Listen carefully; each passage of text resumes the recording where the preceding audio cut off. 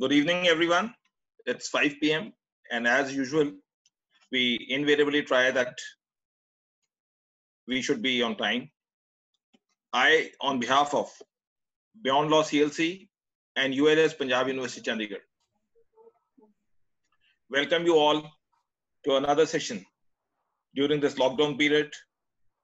As we have already been saying, that during these lockdown, we are trying to sharpen our skills not only as a lawyer, but also on the various aspects so that we can learn and become a better lawyer after the lockdown is over.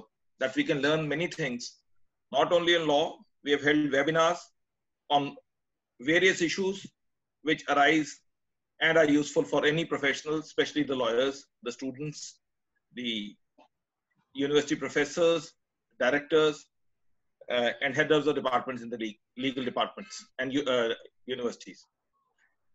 We have done issues regarding constitution law, criminal law, civil law, election, land acquisition, so on and so on. We have also held webinars to the effect that how a lawyer, advocate can become a better lawyer because we sometimes find that the lawyer knows the subject, but on account of non-presentation of the facts in the right perspective, that is, as we all know, that for a lawyer, there are three stages. First is to convince the client that he is the best person to deal with the issue. Because once he comes for a consultation, you have to convince him that yes, this is the case and the, these are the gamut, uh, gamut around which the case will evolve.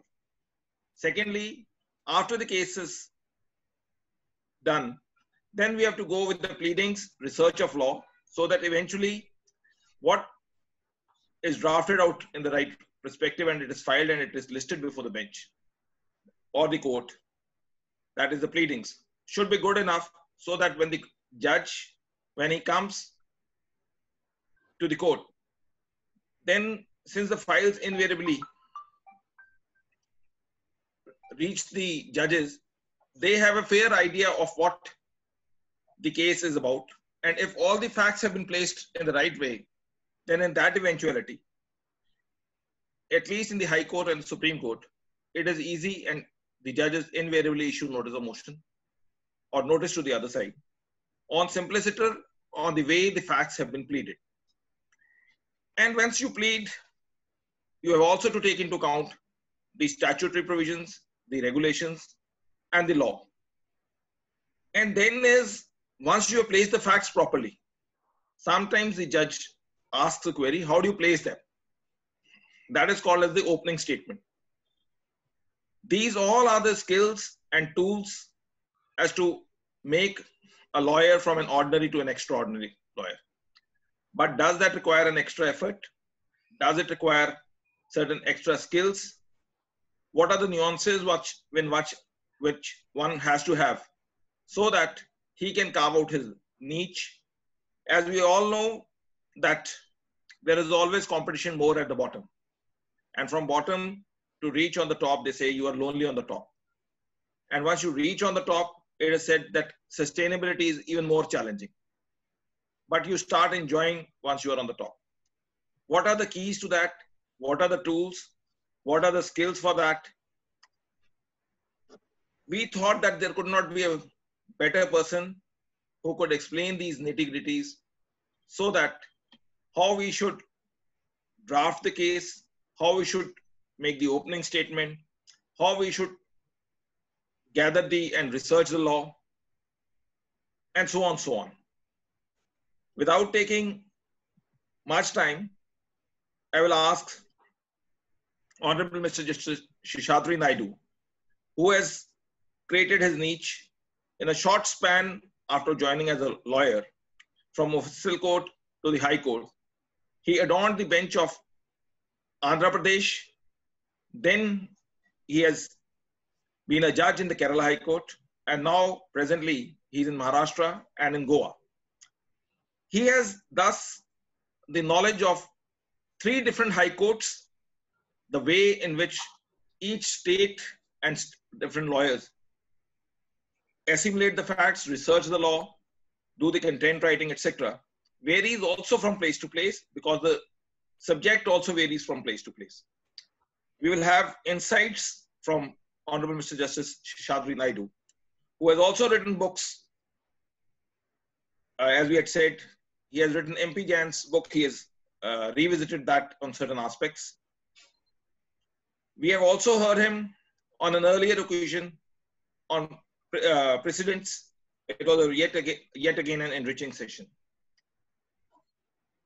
All this entire gamut, we will just request Honorable Mr. Justice Dama Seshadri Naidu that what is the key which makes the lawyer a lawyer to be vouched upon, a lawyer who is looked upon for that particular case, whether one should specialize in one particular field, whether one should work from a Mofussil court at the initial stage, or whether he should from the High Court or a Supreme Court or a tribunal.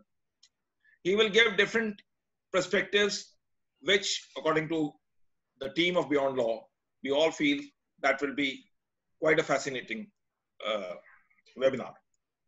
We also know that Justice Seshadri Naidu, being a good author, good orator, judgments which have far-reaching impact on social issues, etc. Uh, without taking much time, I call upon Justice Seshadri Naidu to give his insights to all these issues and the question answer sessions. Anybody who has issues regarding any point which we asked, uh, Justice Seshadri Naidu has agreed that he will be more than happy to give his insights to the questions which are posted. So that question answer session will be around 5.50, that is around 45, 50 minutes from now. Over to you, Honorable Mr. Justice Seshadri Naidu. Welcome. Good evening, my friends across the spectrum. I have come before you twice in two weeks. I know it's one too many for you. And today's topic, as notified, is about advocacy, tools and skills, as organized by, as usual, Beyond Law CLC and Punjab University. It is essentially the art of persuasion. How come I've been here before you again within a short span of time? Let me say, Mr. Vikas Chatrath has succeeded in persuading me. So you may have to endure me for the next 45 minutes or so. You know pretty well, when you have a health problem, our first option is consulting a doctor. If we don't have a doctor nearby, or if we want to draw some comfort and guidance, we may talk to a chronic patient because he grappled with the problem earlier. He knows where the shoe pinches, so to say. So I was a patient a few years ago. Like many of you, I had to grapple with the problem of how I could be successful, how I could impress the judges, and how I could carry my point across. Initially, I practiced in a district court, as we call Mofussil courts. And I strongly believe that is where advocacy lives. The higher you move, the thinner it becomes. Not that advocacy in high courts or in the Supreme Court is a child's play. It isn't. It has its challenges, perhaps more challenges. What I mean is the advocacy at higher level misses some salient or essential features. For example, pleadings may not play a pivotal role. There's no examination of witnesses. Of course, I'm not talking about high courts of original jurisdiction. So I'll talk on the topic from the perspective of a trial court. I may be telling something which you already know. Then why should you listen? Because what is obvious is apt to be missed. Besides, repetition makes you develop what you call a memory muscle. You could have seen senior counsel, many a senior counsel rather, performing effortlessly. But remember that there was a lot of effort behind that effortlessness. They have been doing the same thing repeatedly for many years.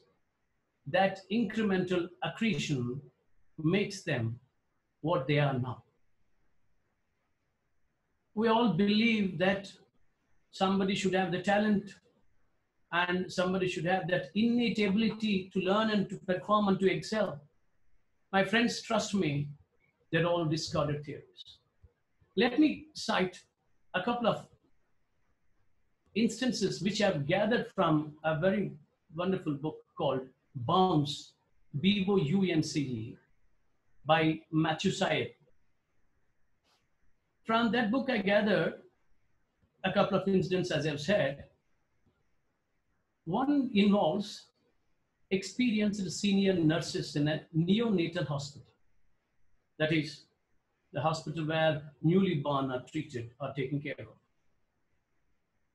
In one particular hospital in America, as the book records, the experienced nurses were able to diagnose infections in babies, even when to outsiders, including the doctors, there seemed to be no visible clues. This was not merely remarkable, but often life-saving, you're aware. When the hospital would perform tests to check the accuracy of the nurse's diagnosis, occasionally they turned out to be negative. That means the findings wouldn't be perhaps accurate, but lo and behold, to be sure enough, by the next day, the babies would develop the symptoms as was afraid by the nurses or predicted by the nurses. And simply put, we call it intuition or sixth sense or something else. But cognitive psychology debunks all these notions. Let me tell you about another classic example in the sports arena, a person called Desmond Douglas. He is supposed to be the greatest table tennis player England has ever produced. His speed of reaction and reaching out in table tennis is legendary. Let me tell you, if you are playing table tennis, somebody hits and we have to meet that one. First, you wait in anticipation. Once the ball was hit, you lean backwards, make room for yourself, as they call it, and then hit the ball reverse. But this Douglas, to the naked eye, it would appear, even before the opposite candidate could hit the ball, he was ready with his reaction and he would rather lean forward instead of leaning backward and uh, return the ball. So one day he was interviewed and he said, perhaps I have a great eye for the ball. But Matthew Syed himself, a table tennis player, who after his retirement from active sports took to journalism. Was an Olympian and he went to this Douglas village or town. And he probed into his uh, methods of learning when he was a child. So he came from a working class suburb. And in his school, there was no table tennis. Once the school management recruited a physical director who knew a spattering of this table tennis. So he encouraged the boys there to learn the game. This Douglas and his brother came forward. But there was no enough room or facility for them to play. So the physical director made some makeshift arrangement and a very small room, perhaps enough to accommodate the table and only two players can stand almost touching the wall. that was the size. So these, this Douglas and his brother, for five years then onwards, learned in that cramped room. You know what happened with years of exposure? He was always forced to lean forward and hit the ball. That way, he developed tremendous reflexes. And to the naked eye, it appears it's a miracle of sort. If you can check and if you read Malcolm Gladwell's Outliers, in America, surprisingly, all the greatest achievers were born between January and March, but not beyond perhaps April. Why? We feel that they were the luckiest months or the religiously important months. The kind, this cognitive psychology has felt that in America, the schools will have the cutoff date 31st December of any year for the child to be admitted. And it should have been completed by five years then. So somebody is being born on 1st January, he still has to wait one whole year to come to school. That means you'll be coming five years, 363 days. So a child with one fifth of his age maturity he always tend to dominate. I believe uh, much of time could be taken for the storytelling. I'll just cut that short with one more and we'll be back into the subject. You must have been familiar with that famous musician, German musician, Mozart. And we also believe there are child prodigies and they display remarkable qualities when they were very young. You could have seen people, children, belting out the dates of any year or the weekday, whatever, in next 50 years to come, 100 years to come, and then listing out all capitals, all flags, all currencies, and all those things. Stupendous, uh, rather steps you could. But science again says prodigies are not born, they are made. You take the example of Mozart. Mozart had given his first concert when he was five or six years. Actually, he began composing pieces of violin concertos at the age of five and produced many works before he could hardly be 10 years. We must all agree that he's a child prodigy. But you look into his life? Mozart's father was a very famous music teacher. The book he wrote on how to play violin was a standard book for teachers next 30 to 40 years. So this experienced teacher hmm? initiated his son into this game when he was three years old. By the time Mozart could come to five years, he had the practice of 3,500 hours. One guy called Michael Howe, in his book Genius Explained, tells he's a late bloomer rather than child prodigy because it took 3,500 hours. What we had been looking at, rather, was his age than the hours he had spent. So, my friends, effortlessness, seniority, quality, they're all matters well within your reach. With that one, let me tell you the limitations that I suffer when it comes to this topic. It is a vast one, you agree? And it's highly subjective. What appears to be a skill or a tool for me may not be so for you. So kindly take whatever I say with a pinch of salt and uh, test that with your experience you have already had or experiment if you want to. And in 45 minutes, I can only talk about the roadmap, not the road itself, much less about the destination. But I assure you, it's not going to be stuffy or academic. I essentially will talk about my experience or what I've observed or read and learned from various sources, essentially. And the eternal debate is that whether advocacy is an art or science.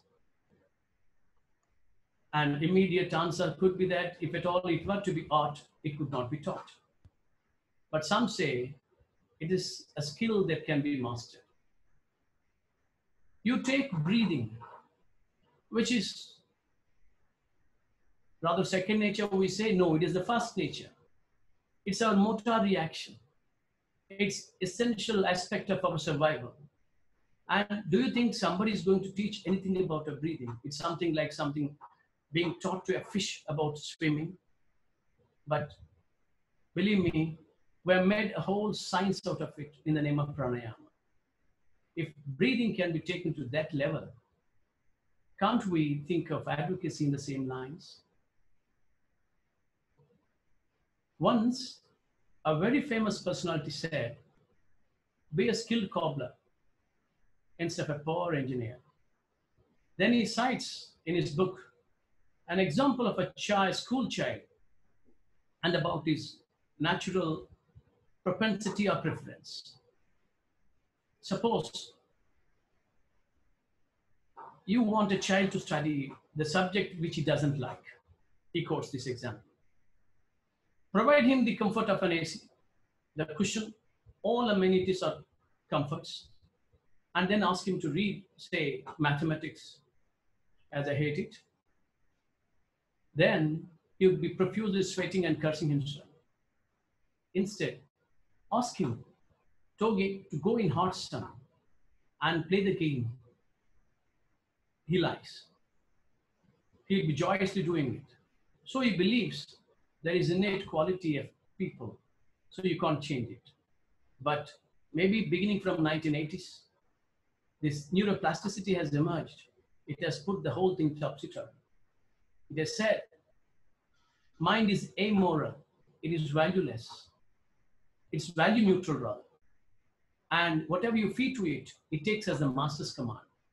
So my friends, especially the young advocates, I must underline this lecture, if you call it one, is dedicated to young listeners who want to break out onto the scene. And about this play of the mind, this notion of knowledge or talent, if you want to know inside out, please read a book of good influence on you. It could be What to Say When You Talk to Yourself. It's by one author called Shad Helmstetter. He's a psychologist. My friends,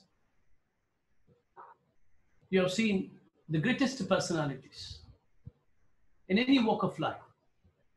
Do you really think that they've been greatest from the word go? What example can I give you other than that of Einstein? Please remember after schooling, he wanted to pursue polytechnic. Those days, engineering was polytechnic in undivided Germany. His father was a businessman. And then this entrance, Latin was a compulsory subject. He appeared for the entrance. He was very weak in Latin. He failed. He came back. His father told him, son, why struggle with that one? Come into my trade. I'll teach you everything and you can be good at it. He was caught on the horns of dilemma, as I could put it. Then he came across one sentence by Ralph Waldo Emerson, the American statesman. That was, if you indomitably stick to your instincts, one day the world will come round to you. If you indomitably stick to your instincts, one day the world will come round to you.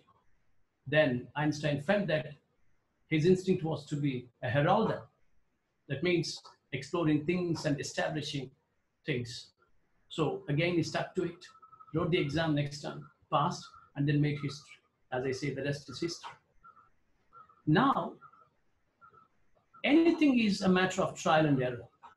So is the case with advocacy. But here the problem is, is the client's trial and the advocate's error. Well, sometimes it proves costly. So one has to be very wary of his trade, his tools, and his battle readiness. And believe me, the trial advocacy is a skill that can be taught.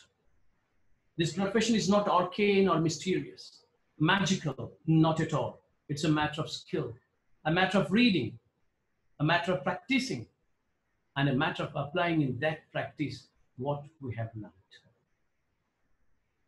Our learning can be from many sources and in many ways. Please remember to use a wheel. We need not invent it. It has already been invented and used.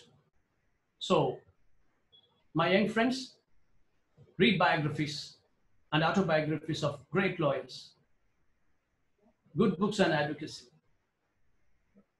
And with that, every author's lifetime experience becomes yours in hours or days. To know that we get hurt when we fall off a building, we need not actually fall off. Ask someone who fell off. In the common law countries, the trial is not an exercise designed, please remember, to discover the truth. The court is concerned with the facts presented before it. One party affirms the facts as true, the other party denies it as false. Each is allowed to persuade the court to accept their point of view. And this process of persuasion is trial. And the procedural law fixes the boundaries and imposes conditions of these joining parties to fight and emerge a winner. In other words, suppose a man was killed. Under the common law system, the court is not expected to find out who killed. That is possible under civil or continental law. In that, judge himself investigates and conducts the trial, including the cross-examination. But in common law, the court is concerned only with one thing, whether the person brought before it as an accused did it, nothing beyond. And it begins with the presumption he did not. Friends, remember, rules of evidence are mainly designed to exclude. When you talk about either civil law or the criminal law, by the time the case comes to court, the facts freeze. The action is complete. As we call it, the cause of action has arisen and over, in fact. There's nothing to be investigated either by the court or by the advocates. Advocates only try to persuade the court one way or the other. Rather, we are putting on a presentation designed to persuade. Let me begin with pleadings. A client comes to you. Don't ever give your opinion on the merits of the case he brings before you. If you want to have an authority on this proposition, you may read David Pannick's book called Advocates. In that one, he tells an interesting aspect. Don't ever judge a case, he tells. Sometimes you may feel that a case is hopeless, but who knows, by the time the trial is complete, it turns out to be very good. Or in his infinite wisdom, as he tells, the judge may see a point which you have failed to see. So judging is not your part. Advocacy is yours. That's what he said. And let me tell you an instance, because you may kindly appreciate one aspect. Advocacy is a matter of telling tales. So I'd be telling a few. You may endure me, or else when you feel bored, please, any of you raise your hand, I'd be stopping. Friends, when I was practicing in Tirupati, my native bar, there was an anecdote, sort of uh, tale that was doing rounds. That was about a legendary advocate whom I never saw, one Alladi Radha Krishna. And the story goes like this. One day a client came to him and he narrated the whole case to him. Senior as he was, he told him, Look, man, it was not my habit to tell whether a case is weak or good or strong. But I tell you, this is exceptionally good case.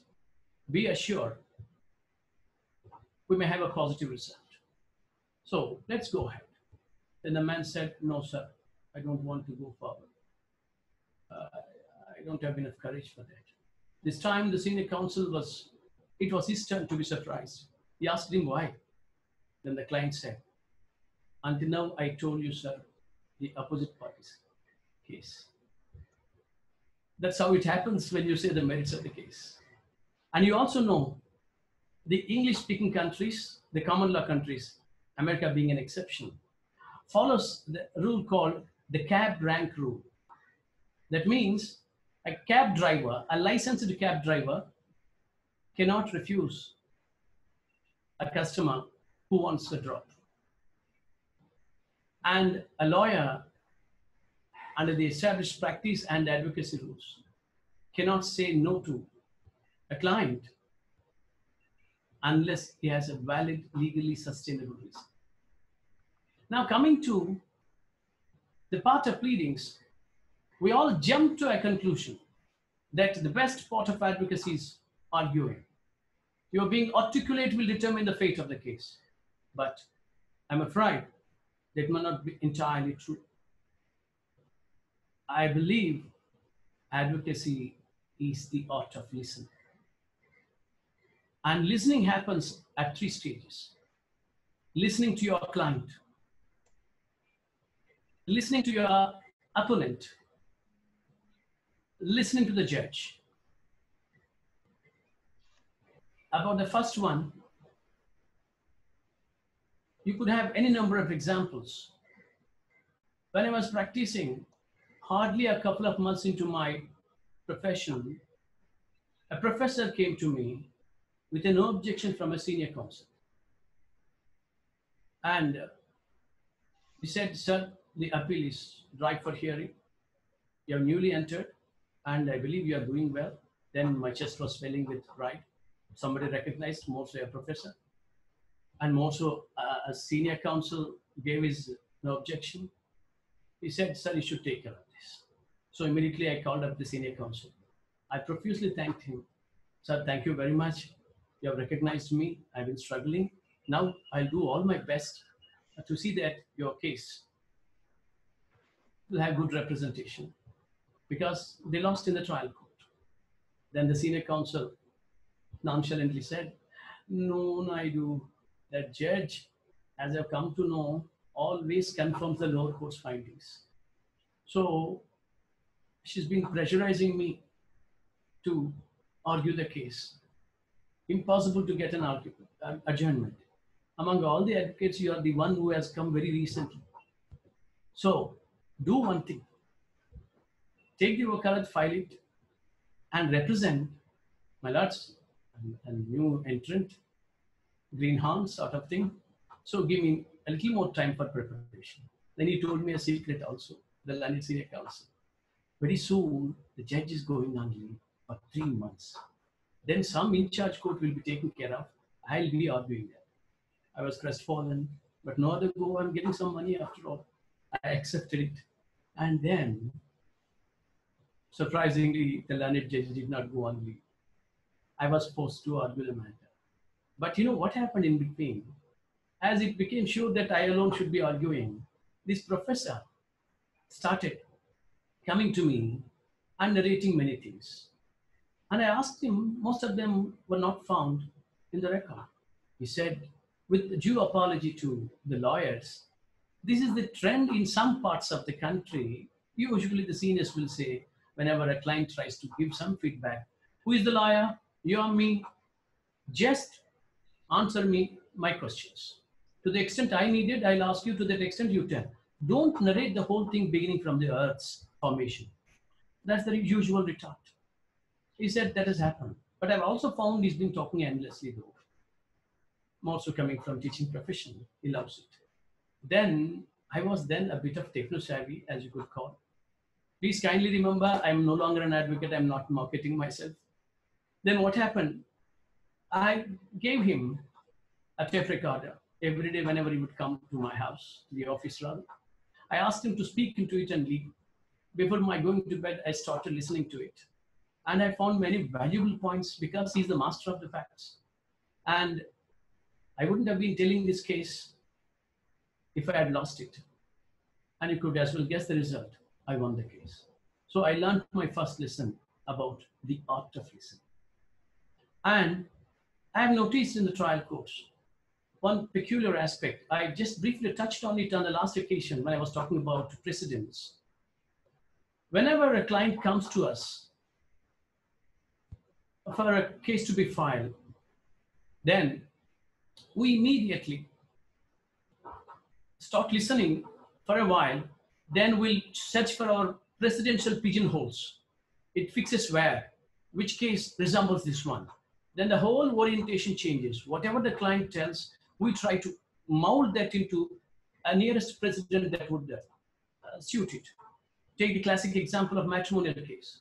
I told that about 20 years ago or so. In one instance, Supreme Court dealt with the aspect of mental cruelty. The husband pleaded that in the presence of the friends, when he invited them, the wife flew into rage, abused him, and threw the thali, the Mangal Sutra, on his face. And court has felt it was mental cruelty. Lo and behold, next 20 years, almost in every case filed by husband about this mental cruelty and divorce, you will have that incident. With that, what happens? It's not client's story or client's fact. And we impose it on him because it gives strength to our case with a ready precedent. In the cross-examination, it fizzles out because it's our brainchild, not his baby. That's the danger of pleading based on the case law. Besides, case law is uncertain. It is bound to be changed. Then what happens? We become rudderless, clueless. Friends, try to draft things as you talk in a formal way, if not a very informal, colloquial way, at least in a very informal sense, as if you were talking across. Don't use, as I feel, herein, therein, the petitioner herein. Anyway, the petitioner would be talking about in the plaint, herein may not serve any purpose. All sorts of jargon and legalese can be dispensed with. That's what my belief. And if you want to have some authoritative books, there are many. The ones that I've come across and found to be useful, I may say, Pleadings Without Tears by William Rose. It's available in Kindle and also available paperback. And another book I could as well commend is Point Made by Ross Guberman. It's a very good book. He has studied the styles of very famous lawyers across the common law countries. And then he has culled out the principles, what makes a brief very persuasive. And there can be any number of books. And as we are talking about tools, I'm referring to these books, not otherwise. Think of presenting in a manner that is readable.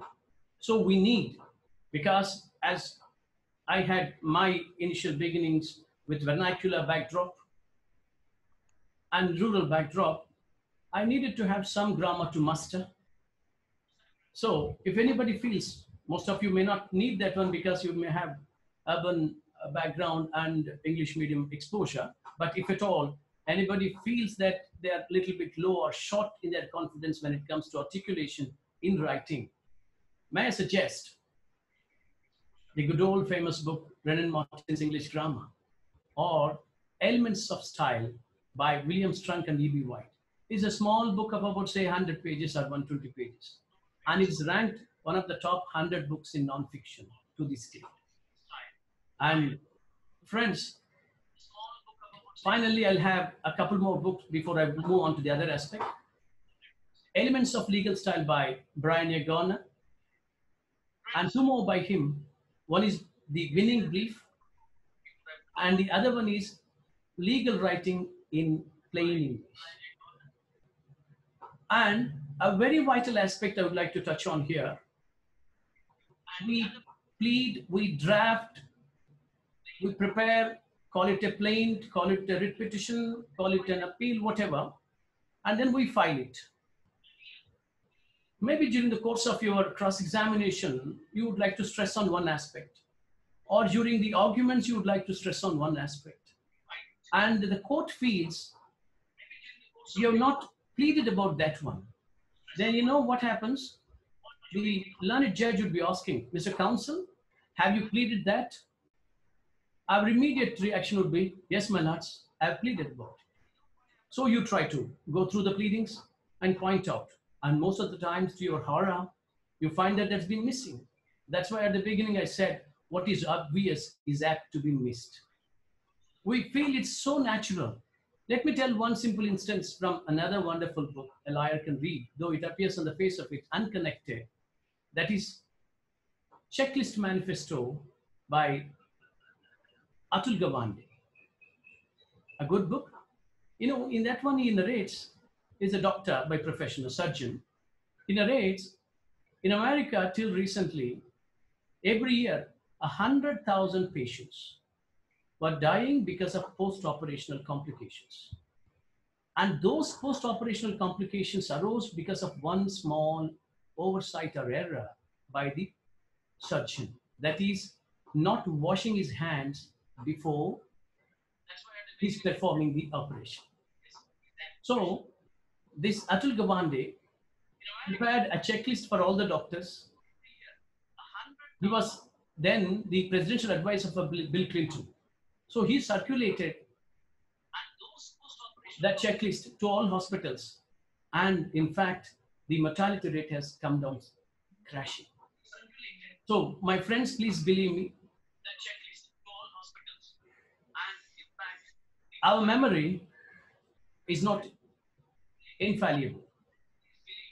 So it's quite essential that we better adopt certain methods. And that book, which I've read, gives you wonderful inputs into that one. You can prepare a checklist for drafting. You can prepare a checklist for trial. You can prepare a checklist for cross-examination. Actually, it was the brainchild of the pilots. I was told, subject to correction, as mentioned in that book, before takeoff, a pilot should have 250 tests run in the cockpit. And initially, most of the times they missed on one or two and they proved fatal. That's why they practiced. So in trial two, the consequences could be fatal. Why not? We practice that method. Please think over.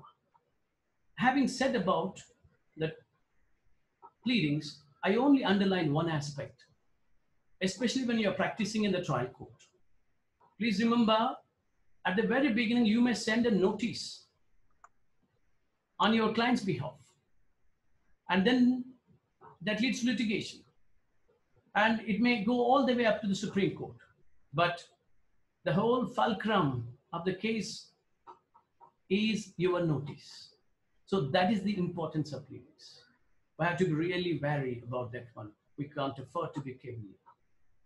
Having said that one, I would like to say it's only the bird's eye view, a thumbnail sketch, nothing else detailed. In the court of question and answer session, I would like to focus more on any aspects you would like to, you want me to dwell on.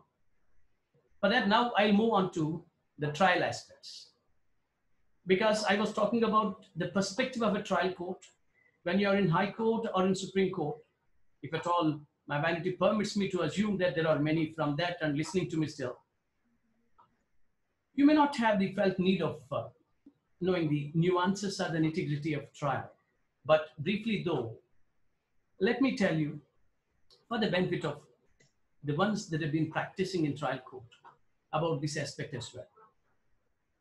You know, the chief examination has now been practically dead, thanks to amendments in CPC and other areas.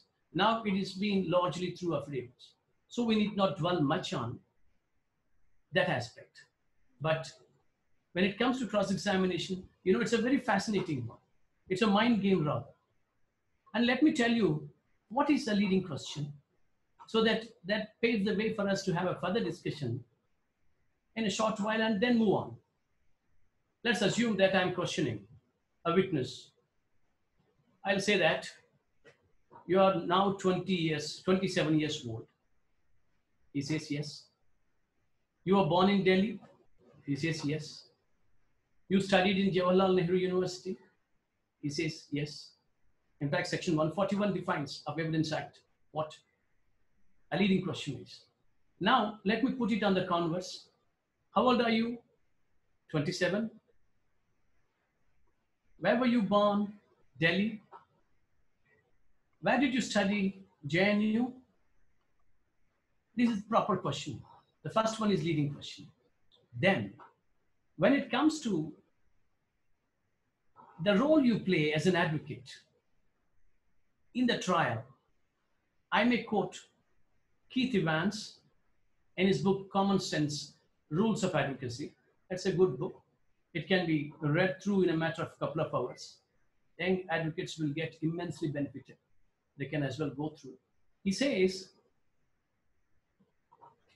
you are a licensed professional. The court of law is a theater. Your job is to make it a professional theater.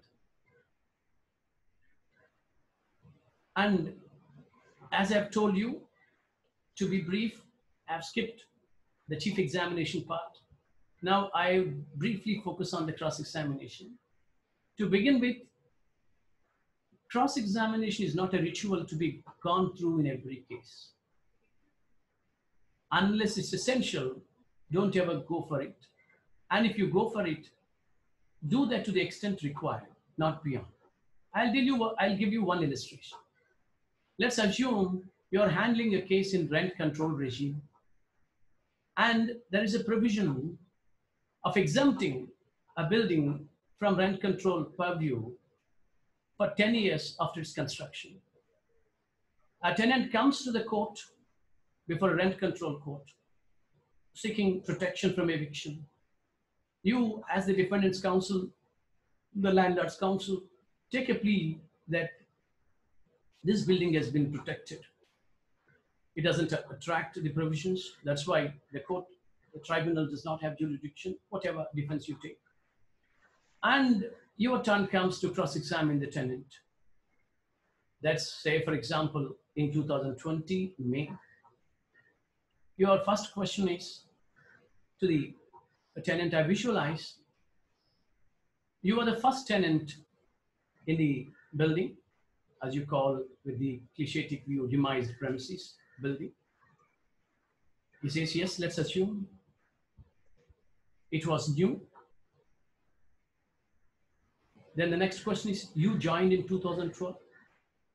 Yes. So you have seen three things there.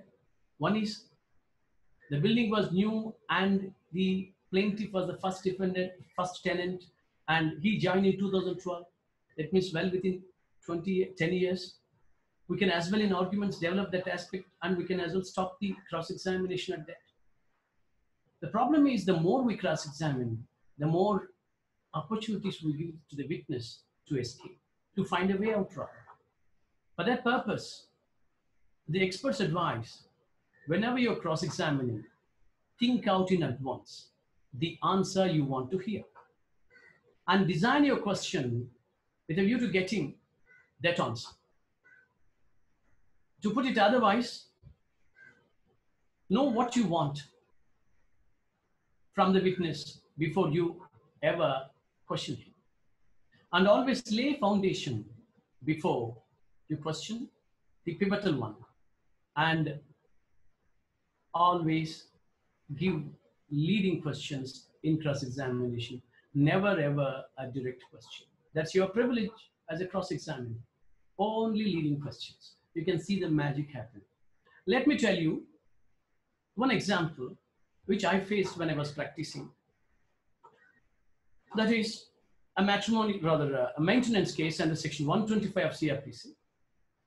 And uh, my client was a daily wager, a mansion by trade, and his wife filed the MC, maintenance case as we call it, in our jurisdiction, under 125 CRPC.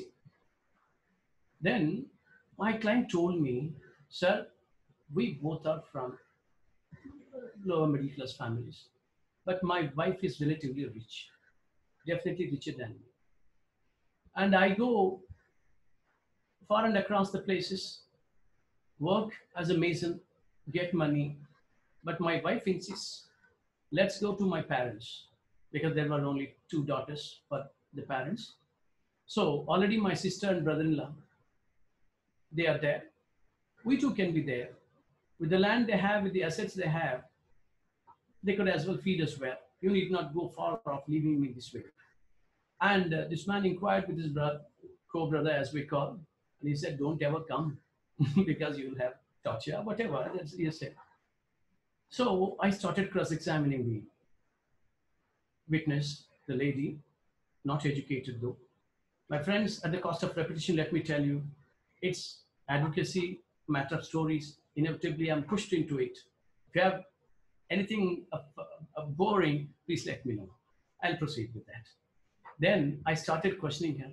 I said, you remember as a matter of psychology, especially in rural backdrop, a woman always prides the parental origins, talks in glorious terms about the origin of parents and their position in the society. So I caught hold of that one. I said, it's an arranged marriage. She said, yes. And you have had wonderful alliances coming to you, but somehow this was fixed. And you know, every mix, mix, missed opportunity, we feel glorious. So was the case with that lady. And she felt, yes, so. Yes, I had wonderful opportunities, but somehow I got stuck with this man. Then I said, socially, in every way, your family is far superior to this man's family. Yes, sir. She jumped to an answer, said, Yes, sir. They can't be compared with me. How sad it is that such family we are, we have fallen for them. Now you see my plight. He refuses to provide me minimum. Then I told her, Your parents are well enough to support you. Yes, sir. If you go there, they'll be looking after like you're a queen. Yes, sir. That's what I've been telling him. He's Papa. He's, he's a Papa without anything at all to support me. Now, if he comes to my parents' house, we'll be supporting him. Then I have told the court that this is the position she has agreed that my client is a pauper. And just an example about the advantage of leading questions. But remember, when it comes to the length of cross-examination, you know, it never matters where you begin, when you begin, but it all matters where you should stop. That's very fatal, rather very important. Let me tell you, if you ask a dietitian about how you should uh, lose your weight, they may say that just before you feel you are full, stop with something of hunger remaining in your belly. And I say, when it comes to cross-examination, just stop before you feel that is the final step. Don't ever go for, if I could suggest with a couple of illustrations, for the overkill or a flourish that I've finished him off. No such thing. You have to reserve your energies, preserve the points, so that you can elucidate and expatiate on them when it comes to the arguments. Let me tell from the real case examples, as I've taken from books on advocacy. See, in one case, the accused was involved in a drunken brawl, brawl in a liquor bar. The allegation he faced was he bit off the opponent's nose. An eyewitness was cross-examined. Let me see and visualize how the cross-examination proceeds. You have testified my client bit off the end of the victim's nose. The answer is yes, I have. And this was in the bar of, say, Joy and Joy. Yes. It's a long bar, isn't that? I suppose so. It's 40 feet or more in length. Yes, I believe. And it got very dim light as it being a bar, hasn't it? He says, yes. You were at the entrance, end of the bar, weren't you? Yes. And the fight took place at the other end, didn't it? Yes? Or 30 feet away minimum from you? Yes, I guess so. And the bar was crowded, wasn't it? Yes. 20 or 30 people must have been there between you and uh, the incident. Yes, about that number, I may say. And if the counsel had stopped there, it would have been wonderful. You'd have argued in the case that the witness could not be believed, less reliable because of dreadful lighting, obscured view, it's blocked, 20, 30 people in between, considerable distance from the event. But please listen to the next question in the cross examination. So, how come you say my client bit the guy's nose off? Friends, you can guess the answer. Let me tell you.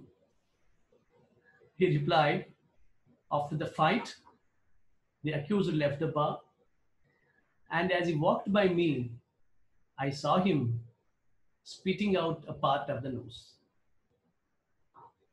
So, what's the lesson?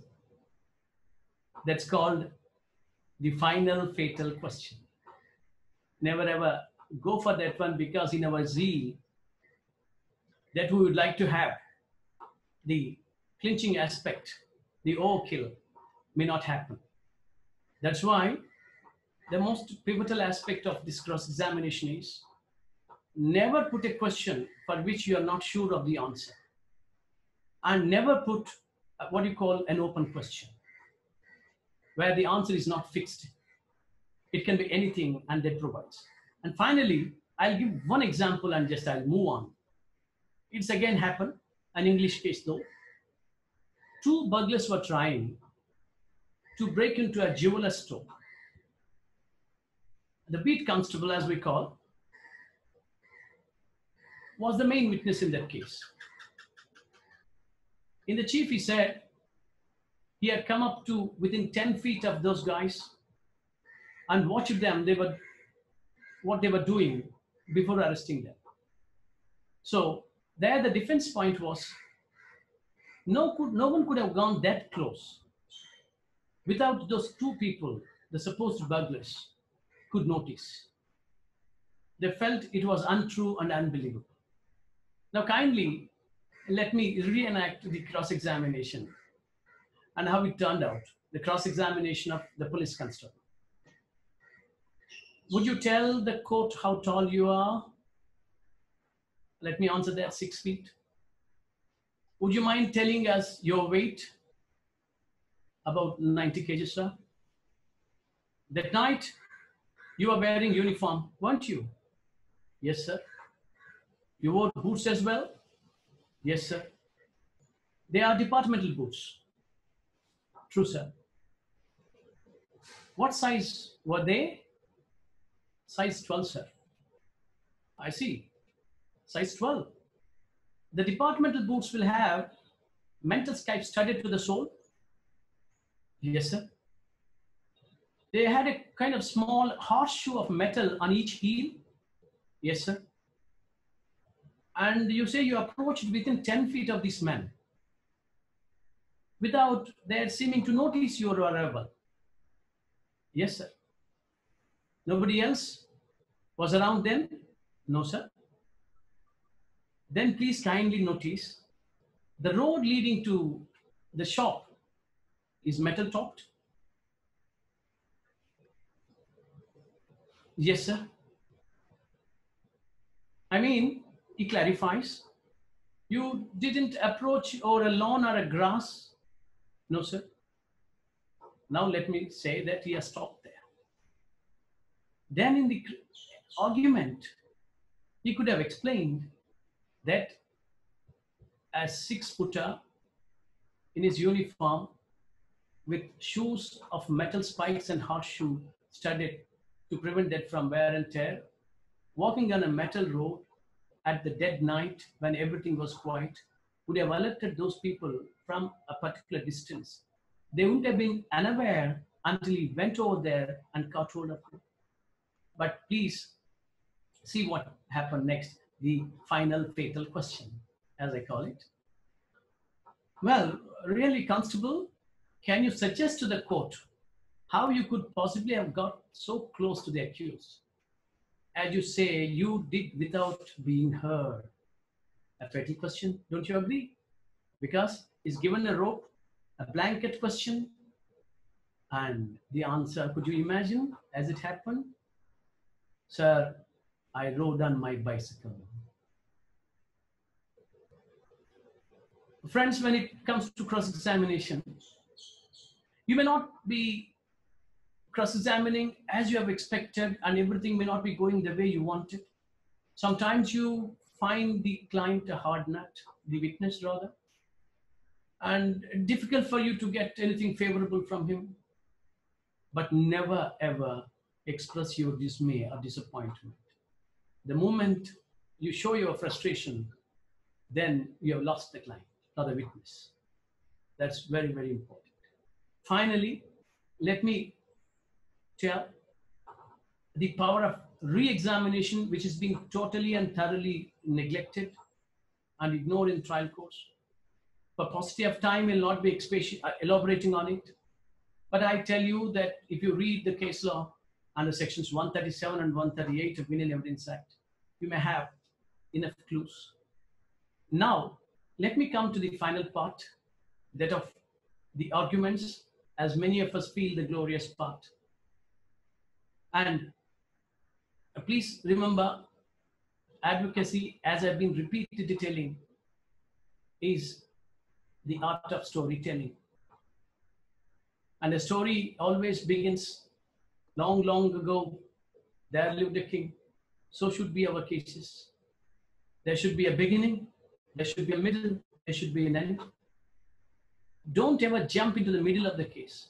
This is called, psychologically speaking, the curse of knowledge. I'll tell you how.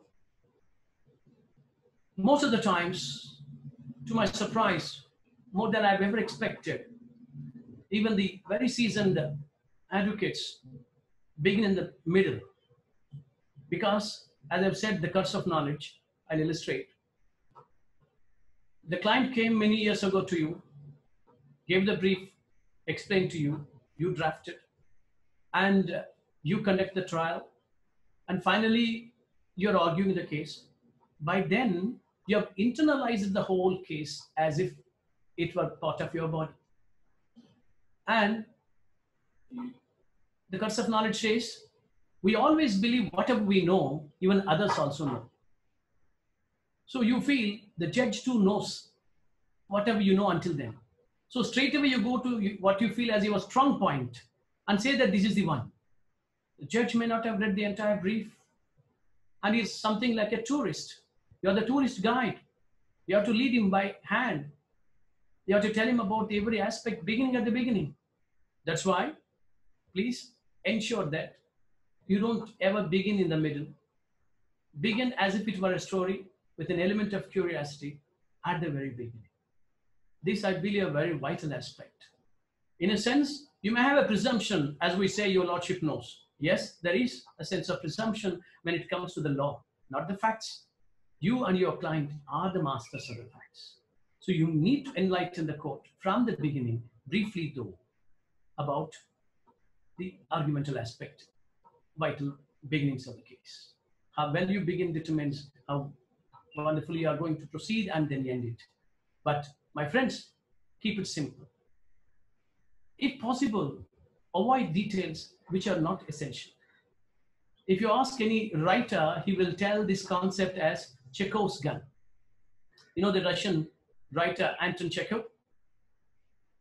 Once he said, if at all you talked about in your story a gun kept on the table in the first part of the story, by the time you finish it, it must be firing at some stage. Otherwise, there's no need to mention about that. I'll give you an illustrious example. You're handling in a court of law, high court, let me say as an example, a case about retirement benefits which have been denied to a particular employee. You wanted to plead, you wanted to argue, And you can see in most of the cases, either in the pleadings or in the arguments, we start at the very beginning in the sense that there was a notification in 1975 and so many people contested, rather applied for that one.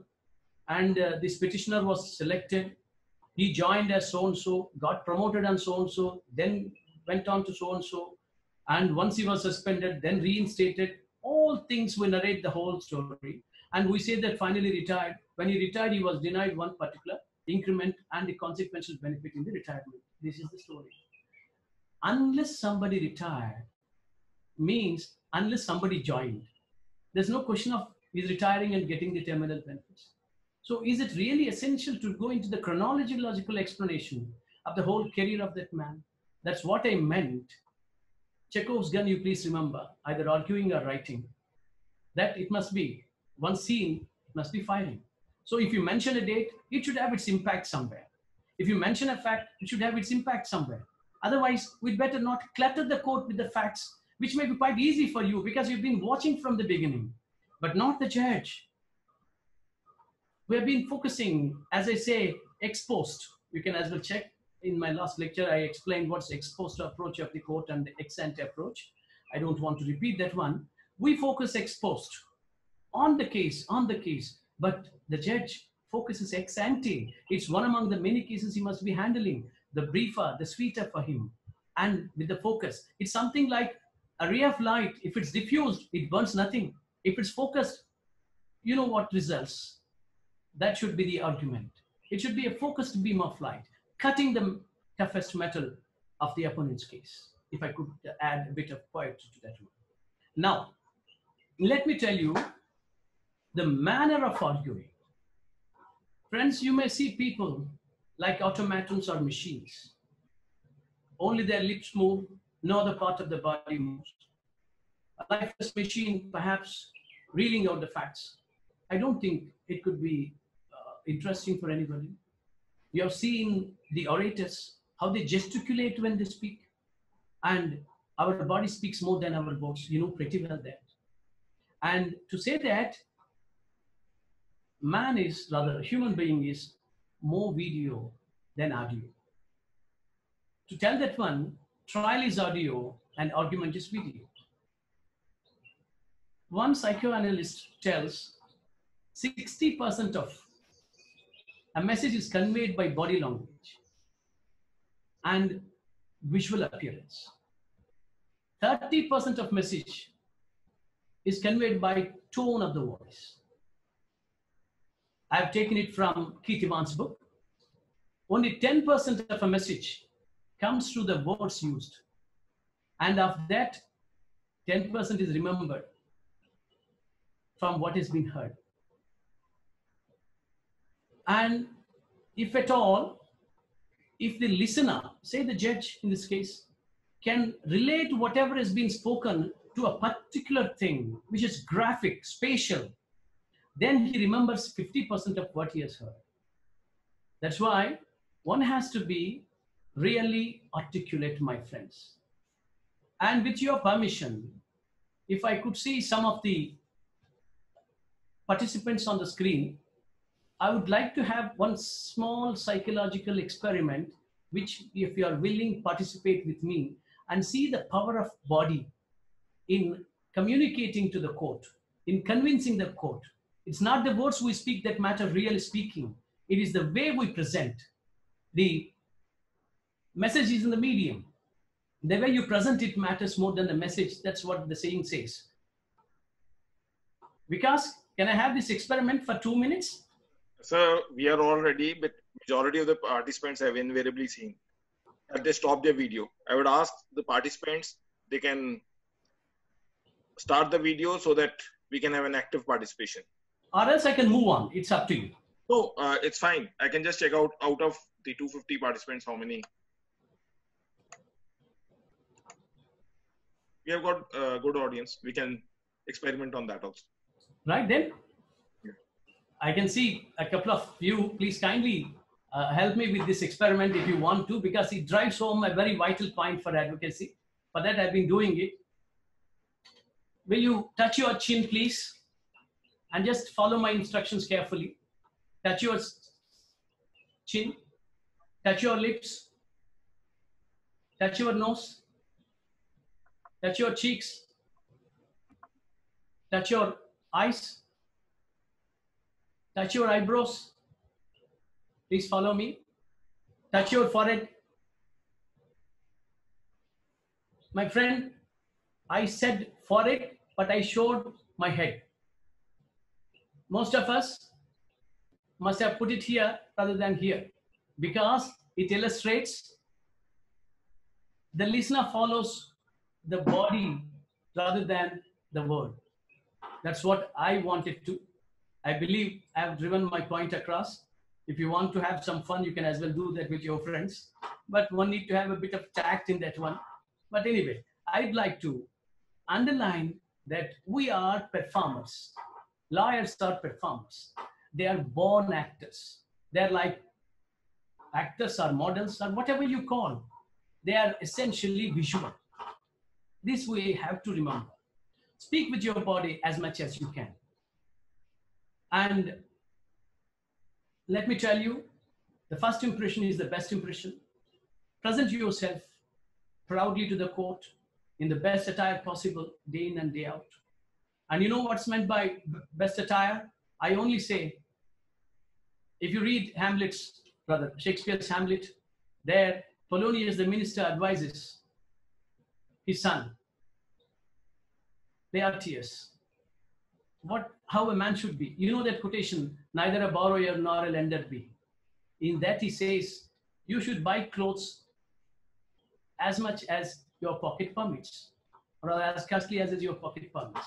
He says the apparel oft proclaim the man. And while arguing, I've seen many people, not only that, many of you may have observed, if you close your eyes, you don't know whether he's picking out or reading out. It's so stuffy, so formal, with all long sentences and ins and there, rather herein's, there to, thereof, and all those things. When we talk, when we communicate, when we argue, let's try to be as normal as possible. Sans or without any, what you call, uh, legalese or the jargon, we can call it. For example, don't ever say the plaintiff was driving a motor vehicle. Instead, we can say, if at all it's a car, the plaintiff is driving a car. No need to say the parties have entered into an agreement or a contract. We can say that they've contracted, they've struck a deal. Don't say the witness testified, simply say the witness told. And I know pretty well. It's very easy to tell because some judges may not like if I tell say that the parties have struck a deal. And you are the best judge to see whether somebody has been accommodative or somebody goes by the strict rule book, whatever. And I was told most seasoned lawyers, whenever they face a new judge, whatever be the rank of the judge, it doesn't matter. After all, he gives the order which we have been looking forward to. And uh, they come well in advance observe the style of the functioning of the judge, his body language, his outlook, approach, and everything. And then they must be thinking of which way we could present. So it changes person to person. It's highly, as I said at the beginning, individualistic. My friends, as I was telling, the attention span has been coming down. So if we indulge in, indulge in long arguments, or replete with long sentences, it goes down the drain. With shortest possible sentences, we'd better tell them in the plainest long language possible. If you want to know the way the brain plays, the mind plays, as I was talking about this neuroplasticity in our advocacy, may I recommend a couple of books by Daniel Amen. If you want to read, one is Magnificent Mind at Any Age, and another one is making a good brain great. And still, if you are more interested, you can read his book, Use Your Brain to Change Your Age. They're good read. And it gives you a clear perspective about how one should conduct oneself and the, the, the tricks that our mind plays in what way we tend to be. And finally, let me tell you, before we could sign off and have the question and answer sessions, be a likable person. Most of the times, we may try to, without causing offense, let me tell you, we may try to play to the galleries. Mostly when there is a client, we feel that our first duty is to impress him, but I'm afraid that may not be the one. When you are likable, when you approach, when you adopt a very soft approach, the court always leans in your favor, at least psychologically speaking.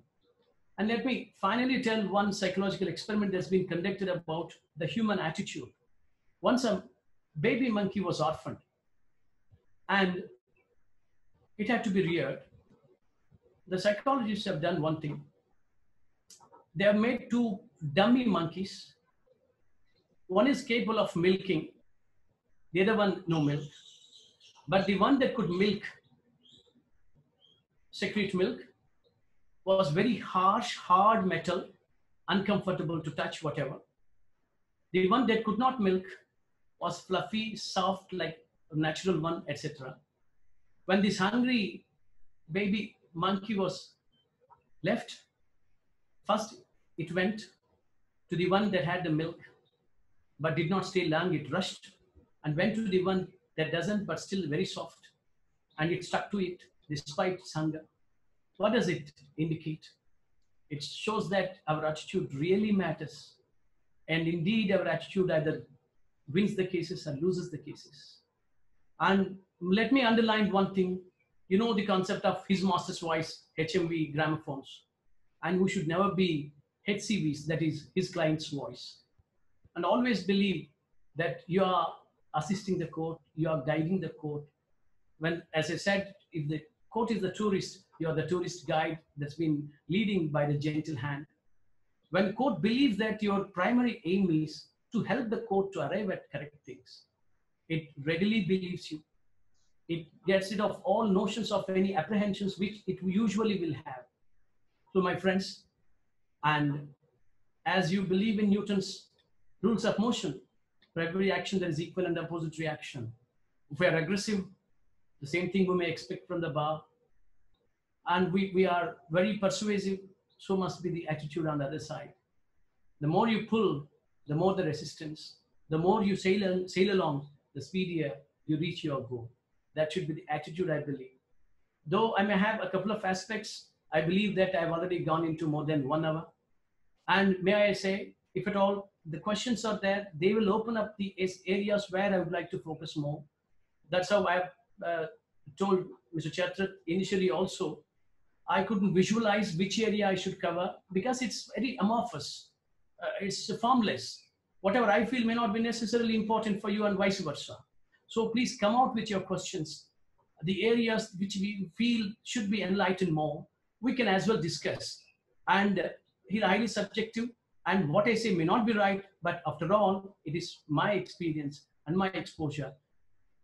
It may appeal to you, may not appeal to you, but still, if there is a point, there is some consideration. And once again, let me tell you, don't ever believe that this is an impossible task and profession is meant for only few. No, you're absolutely unique in man, if at all anybody is listening, not much experience. In American schools, they teach a method called I am somebody, not somebody, one among the millions faceless. I am somebody. That means our thumb is unique, and we are as unique as our thumb. So is this profession. So are you. You are unique. You've got the best of the things at your disposal. Never ever accept to be the second best. Why not? You think of, as Vivekananda said, yes, Krishna is great, Rama is great, Jesus is great, Buddha is great. So what is it to me? I must be great. You may have seen really great people across, but there isn't anything that differentiates you from them. You too can be as great as they are. Be a performer and never stop. Thank you very much. Uh, thank you, sir.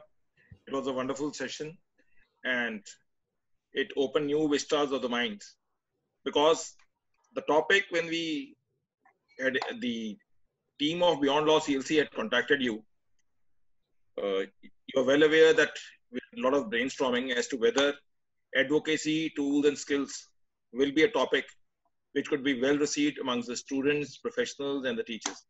Because invariably, what whatever experience we had with the, within the team and what we exchanged, we all found that invariably every lawyer feels, or a student for that matter, when he attempts a paper, he feels that he had shown the things in the right perspective, but the teacher had not given him the good marks, or he had argued in a good way, or he had drafted in a good way. But the judge somehow didn't accept his line of thought process, and consequently, he could not uh, get the best of the results. As they say that the potter would never say that his pot was weak or it is broken. He will always believe, a painter would always say that his painting is good. People are not ready to con- conceive the manner in which it has been done.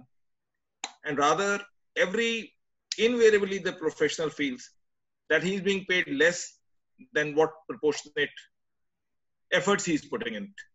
Rarely in life you will always find that a person says that I'm doing less efforts, but God has been kind enough and I'm getting more. Rarest of rare is the occasion.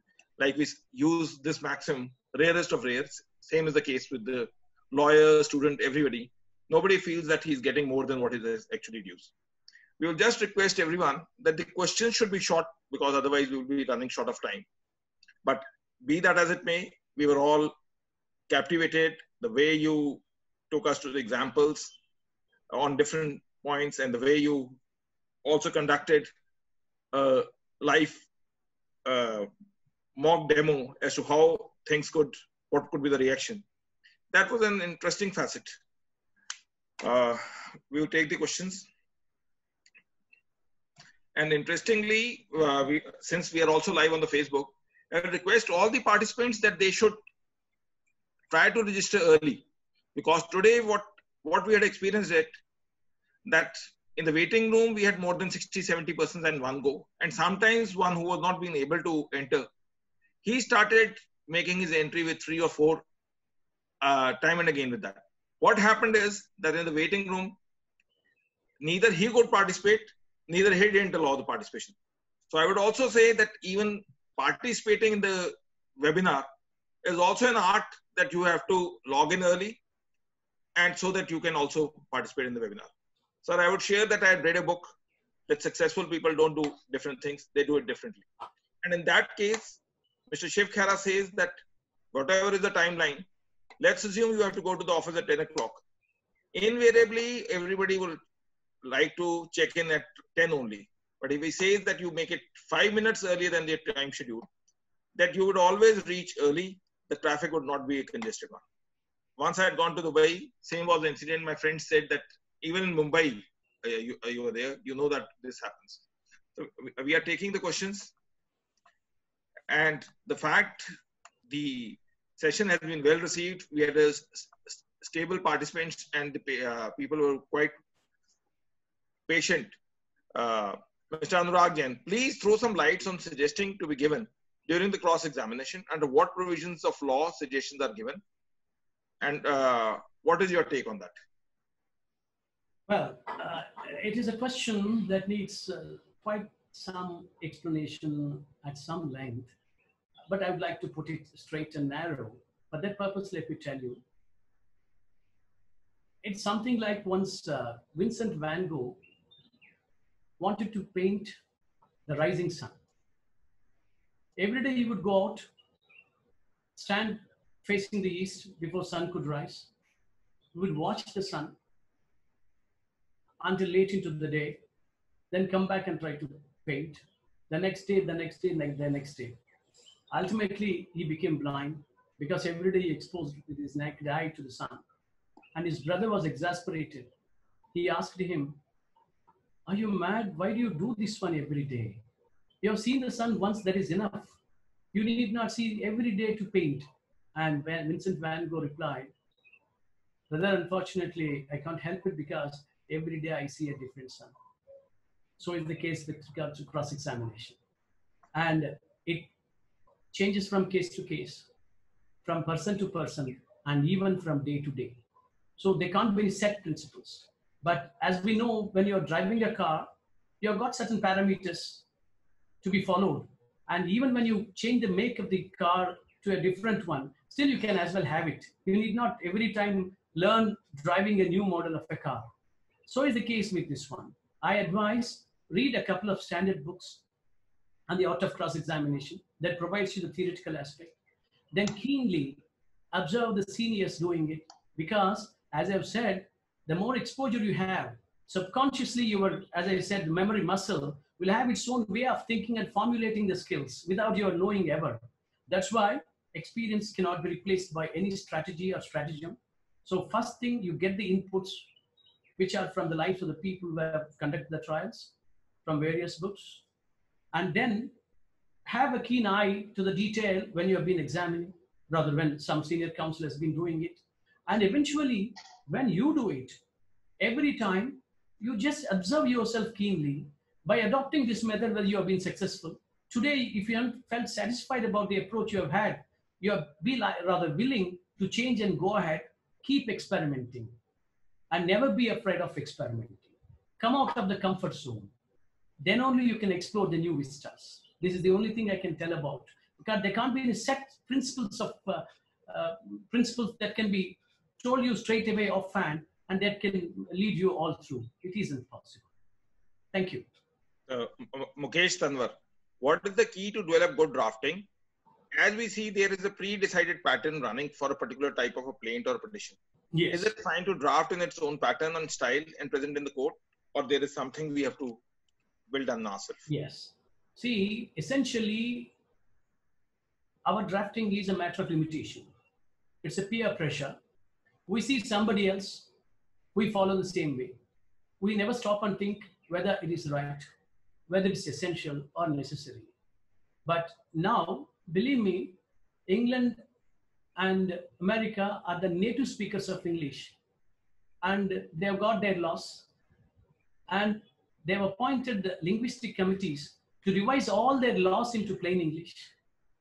And they have been insisting in every court to use only plain language in the draftings, not archaic style. And uh, if you want to see the judgment of, say, for example, Justice Elena Kagan of American Supreme Court, when you read her ladyship's judgment, it's like she was talking to you across the page. So is the case with the drafting of these things. You see the schedules annexed to CPC. Whatever be the case, it doesn't cross more than one page. But still, in our eagerness, despite Order 6 of CPC, we go into pages into pages, try to impress. If at all you need to know the style of writing, please, as I've suggested, that book by Robert Hughes, Ross Guberman, Point Made.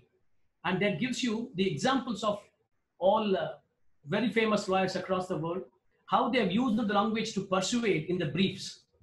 That's one good book. There are many other books, but the book that I've read and felt impressed is one of them. That's why, uh, my friend, uh, you better have a book like that one and see how the modern approach could help you in clarifying things and making things straight away apparent to the judge as well. Yes, please. Mr. Naidu, I just wanted, like, uh, you have given so many books as one what one has to do as an art of advocacy. One question which was boggling within my mind was as to whether you have read these books when you are an advocate or you are still reading while you are a judge. Should I confess? Uh, Last both- time, I, last time I told you that I am incapable of doing anything else except reading. My inability has come to my advantage, and I have read them honestly.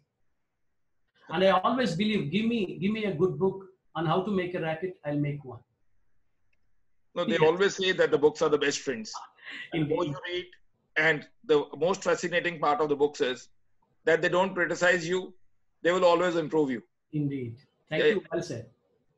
because it's a one-sided affair that you will always be, you will always enhance your skills, your muscle skills, as what you said, taking cue from you.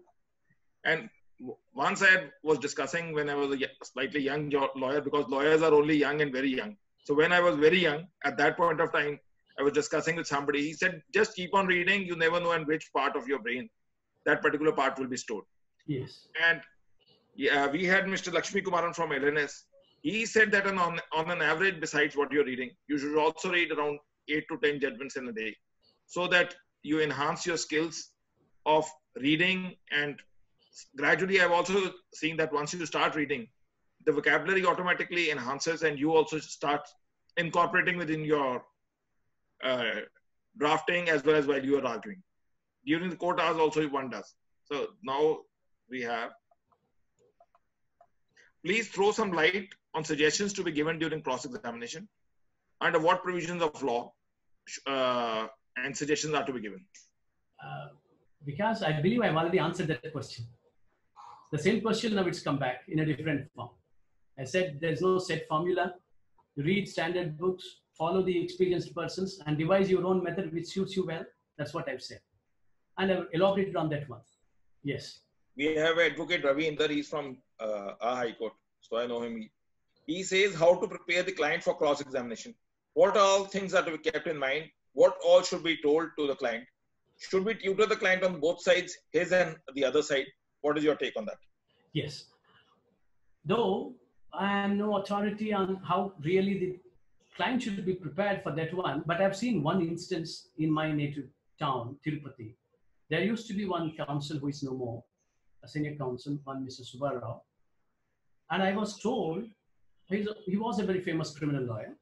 I was told a couple of days or even one day before the cross examination or the examination per se of his client, he in his office has recreated the courtroom, sort of a, a demo one, and uh, he puts the client in the dock. He goes through the whole process with the help of his juniors, etc., so that the client gets acclimatized, and also he knows the method and manner and the aggressive approach. Everything is smart though, but still a sort of a real life example. That's how he has done it. It's it appears perhaps far fetched, but certainly, why not we give a try?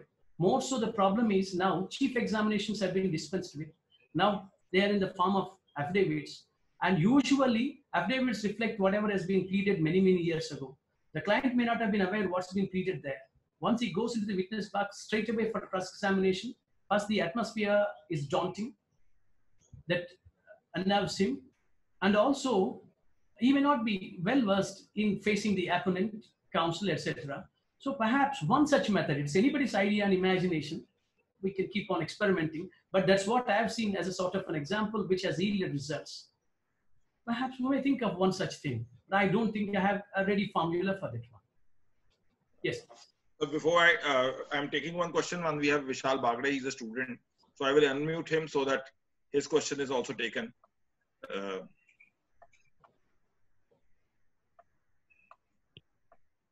the question is between advocacy and judiciary. This is not, I'm sorry. Uh, Hello. No, sir, I'm just checking out because some people are invariably praising it. I have to, told, you can understand that once you're on the platform. Uh, yes, Vishal, you can uh, ask the question directly. Vishal? Hello. He's Vishal, Vishal from. Vishal, please speak on. Hello, Yes, Vishal.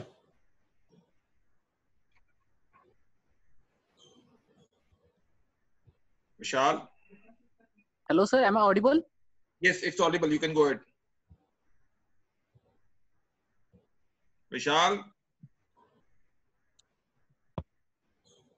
So we will read the next question uh, till Vishal gets back. Vishal, is it audible? You can uh, put the question.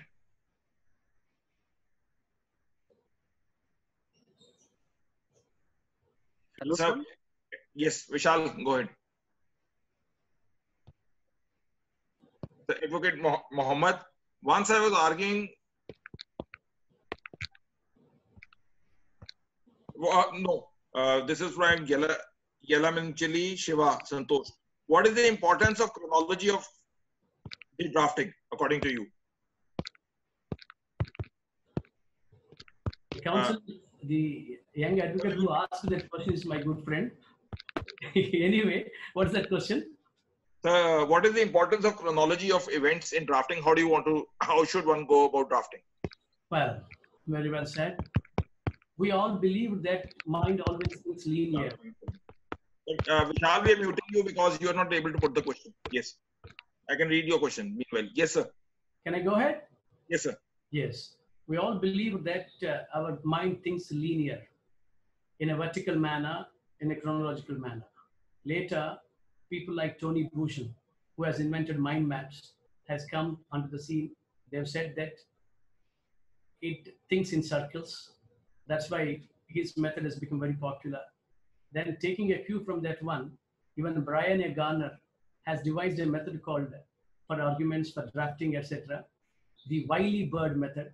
If anybody cares to read Brian A. Garner's book called The Plain Language for Lawyers, The Plain English for Lawyers, that book gives the methods how to draft, in what manner you have to collate the facts, how you should set them, and then which way, which is important, which is unimportant, which way that cadence can be created in draftings. I think one has to have a couple of good books on that aspect to learn the principles. And it's true, to begin with, we'd better have a chronology so that we'll have, as I said, the beginning, the middle, and the end. And once we have that bird's eye view, a 360 degrees view, then we can pick and choose whatever is necessary to be pleaded. So it is good, one should begin with to prepare things in chronological manner. But while drafting, it's highly personal view. While drafting, either you can stick to a method which is absolutely chronological or faithfully beginning at one stage, then shifting on based on the importance of the points you would like to stress. It's a matter of an individual choice. Yes, please. Uh, yes, uh, Tulasiram, what is one thing one should keep in mind when you are facing a very senior or reputed counsel so that you're Uh, not down by the I, mean, I was it invariably happens. I was looking for this question, in fact, and let me answer. My friends, you must have heard about one advocate called Gerry Spence. He's an American trial lawyer. And in the last 40 years, please believe me, in the last 40 years, he hasn't lost even a single case. And he's the busiest lawyer. He has defended across the world who is who, all state heads and etc. And in cases where, and say for example, a murder event was videographed, CC cameras caught, still he could get his client out, legendary sort of a person. He wrote a book called How to Argue and Win Every Time. The book's name is How to Argue and Win Every Time. In that book, he cites an example. That is, he says, never get overawed by the reputation of the opponent counsel. And he says, the reputation or the respect he commands is what you give to him rather than what he has inherently. For that purpose, he cites an example. Suppose you go to a, a new place, say a city. You check into a hotel, and uh, next day in the morning, in the nearby park, you go for a morning walk. You pass by a person, you don't pay any attention, you come you go back to your room. Next day it happens. Third day, you are walking, and incidentally, you see a local person who is your friend. You met him there. You both were walking. The same person whom you just bypassed and went by without noticing last two days was going. The other man says he is the man who committed 10 murders and now he's been on bail. Then the next day, your attitude will be totally different towards him. So, first two days, if at all he was inherently dangerous or something like that, you would have been naturally knowing about it. He says, as an example, though sort of an outlier example, the reputation is what you confer on the counsel. So, kindly refuse to acknowledge the greatness of your opponent. In your hearts, you may respect the advocacy skills, but when it comes to an opponent, he is just an opponent. Treat him like that. That's what he says in that one. It's been beautifully explained in that one for uh, young advocates' sake. You can read that one. How to argue and win every time. Ashok Kumar Bunga. While drafting, should we quote the famous quotes from classics and some uh, famous authors, or simply we should go over the drafting and while time at the time of arguments we should See, originally, originally, advocacy is the art of rhetoric, and rhetoric, technically speaking, nothing but persuasion. Later, we have had many figures of speech adding to that one, so that we'll have uh, all sorts of hyperbole, tropes, and other things, irony. But I believe drafting may not be the area where we should display our literary skills about quotations and other things. We better not unless it is really compelling.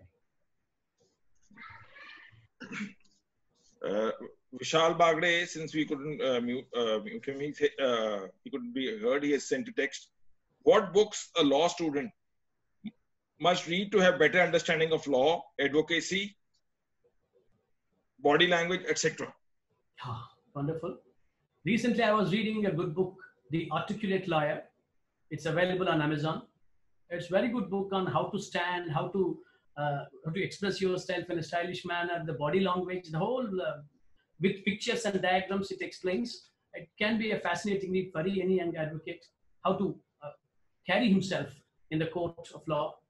And uh, all that you have to do is go to Google, just type one sentence calling the best books on art of advocacy, the best books on, say, cross examination. It will give the whole list of books. You choose whatever you like in that one.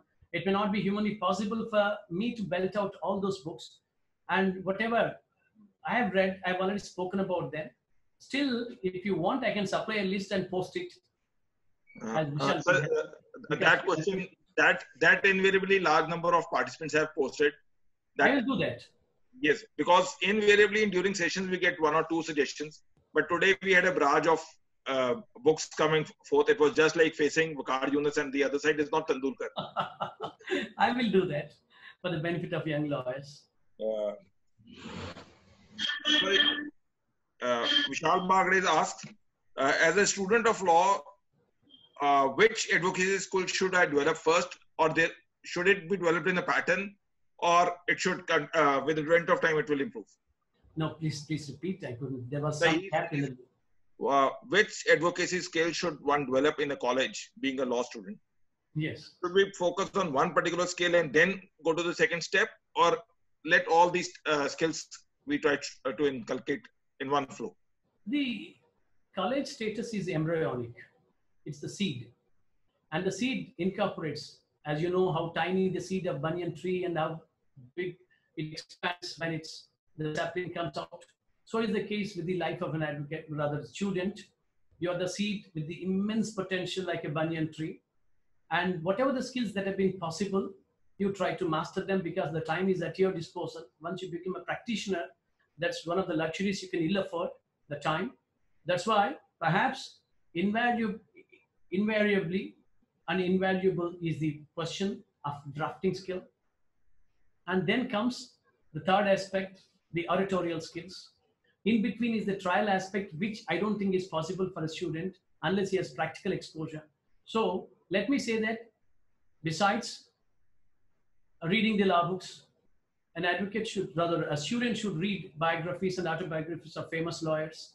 So uh, it's a sort of a passive learning or vicarious learning from the experience of those stalwarts that will make them in good stead. And if possible, even from the student stage, I believe if, an, if a young man, rather a student, could read one law journal from cover to cover, whatever the principles he's been learning, they are put in the context in those judgments. And that goes a long way in shaping his view about the law and how he could excel in it. Uh, Rajat Malhotra has actually asked a question which will help many people. He says, when the stakes are high, how to control the anxiety before and at the time of arguments, which otherwise often produces non-desirable results. Yes, very good question.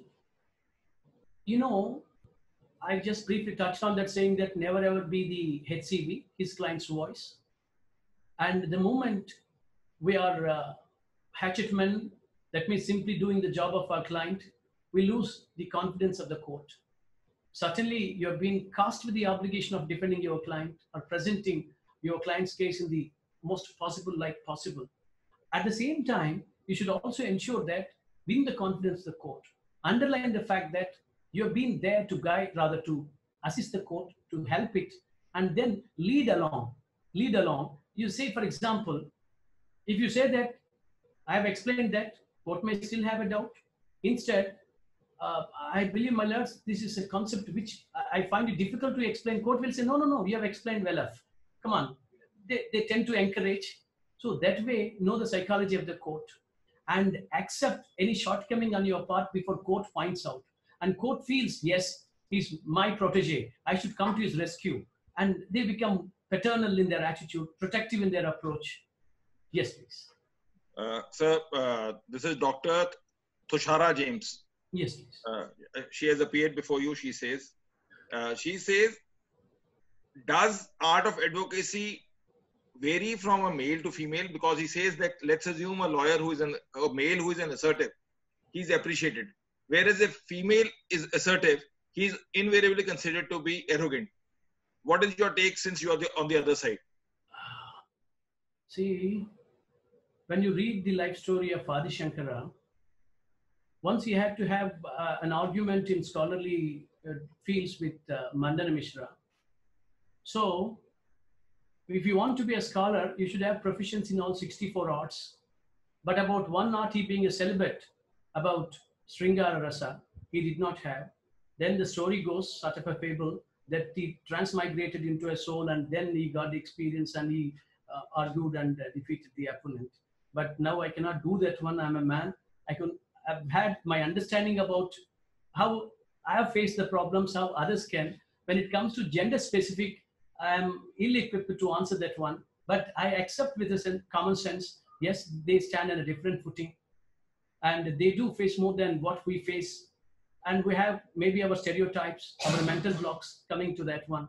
Slowly, the profession may be opening up, but still, yes, they do have certain peculiar problems. I wish they would be going away soon. So, but we have also experienced like large number of female advocates who are doing well now. Designation of seniors is also uh, much larger in percentage, and judges have also been started being appointed. Yes. But I can take uh, my take is that if a female judge is arguing in a better perspective, she's immediately noticed, and the advocacy part also goes that uh, she's arguing well. She's acknowledged also on that aspect that despite his odds that she's working in a woman as a uh, uh working as a housewife, working uh, working as a professional, she's maintaining the balance between them, and still she's performing better. So that factor helps to put the point forward. And hmm. once you are doing well, you are always appreciated. Yes. So he say uh, uh, one question is, uh, what is your take? Uh, should we refer judgments in a bail application or not? Better not. Present them before the learned judge. Why cite them in the in the pleadings itself? It's been the practice in many courts, but I don't see any particular advantage for that one. Keep that brief the briefer, the shorter your brief is, the more readily the judge reads it thoroughly. The longer it is, he's put off, obviously. So keep it short. And then when you argue, he's been familiar by then because you have presented him in a nutshell. He has come up after going through that one. Then to persuade you to cite them, instead of make it long, citing and putting off the learned judge. Sir, Ronak Kadia uh, has posted a question on the Facebook recommended career path for a new lawyer? Private practice or a job at a law firm? Hello. Uh, what, can I answer that question? Which way? Left to myself, I love advocacy. The thrill of standing on feet and delivering. Nothing replaces it. If you causally sit in the chair and you would like to draw your salary and then be happy giving opinions, it's perhaps your cup of coffee, not mine. That's what I feel. Uh, uh, Sapan Dhir, if you reserve your case in draftings, then the judge would say you have not mentioned in the pleadings and how you are arguing. What is your take on it, sir? Could you repeat that? I don't get so it. He says, let's assume we do not refer to any judgments, etc. Then sometimes some people say that you have not pleaded that particular aspect in your pleadings.